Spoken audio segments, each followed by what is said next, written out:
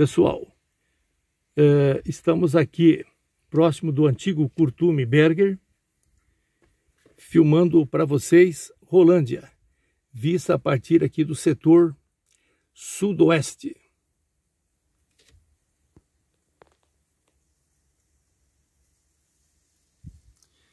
Lá em cima uma ponta da torre da Igreja Católica.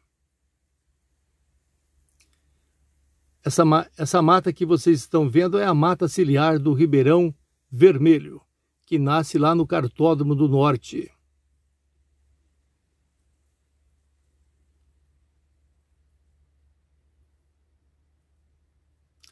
O edifício do Gibim, que é uma das marcas registradas de Rolândia.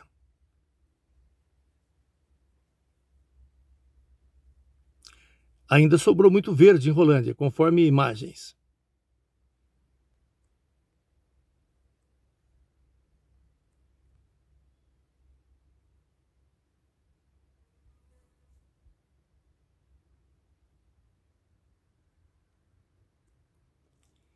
Pessoal, estamos encerrando por aqui esse vídeo.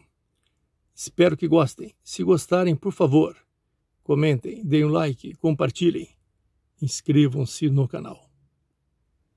Até uma próxima, amigos e amigas.